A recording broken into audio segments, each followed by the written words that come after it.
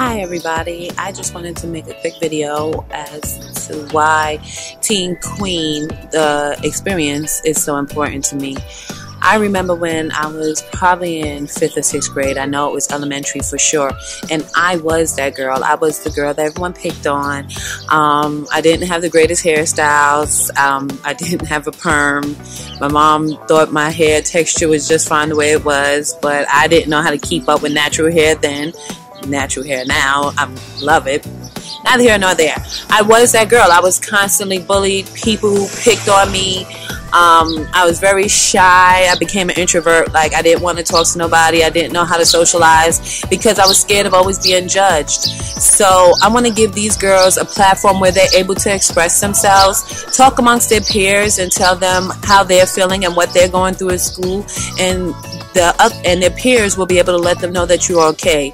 You are accepted. You're beautiful. You don't need to be amongst the rest of the crowd. You don't need to have the high fashion clothes, the pricey shoes and sneakers. You are unique. You are individual. You're beautiful inside and out, and you don't need the validation of the of your other peers in the school that are hardly doing anything with their lives but coming to school to antagonize everyone else.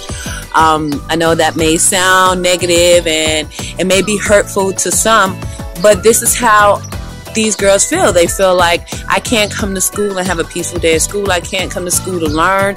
There's things that I'm trying to achieve, but I'm too scared to be judged. So, Teen Queen, the experience, the conference will be July 26th, and it'll be for that girl. It'll be for me. It'll be for everyone that has been in that predicament where we're saving our summer clothes because we don't know what we're going to get for the first day of school because we know our parents really don't have it.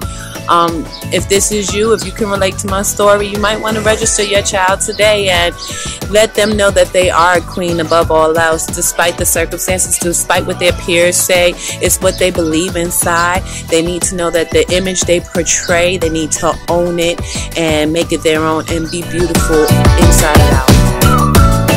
Thanks for watching and don't forget to hit the subscribe button below to stay current with our updates.